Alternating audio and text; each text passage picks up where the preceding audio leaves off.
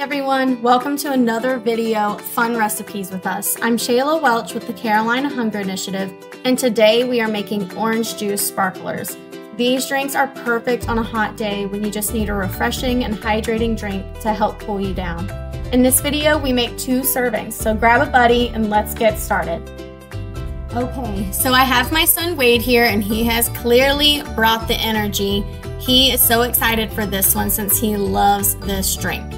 So, for our ingredients, we have 8 ounces of 100% orange juice, as well as 8 ounces of plain sparkling water. We also have two glasses with a handful of ice in each.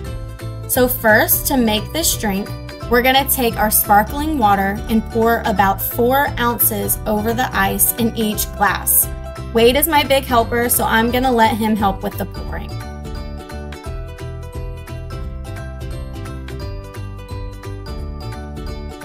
Wonderful. So next we'll take our orange juice and divide it between the two glasses as well. So we're gonna pour four ounces into each glass. All right, like I said, quick and easy. Now we are ready to try it out. Cheers!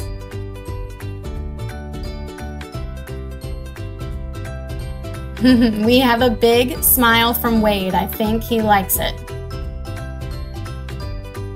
Thanks so much for cooking with us. For this recipe and more, look for the Little Chef's Big Smiles Cookbook under our nutrition education resources on our website at carolinahungerinitiative.org. You can find us on Facebook, Instagram, and X as well.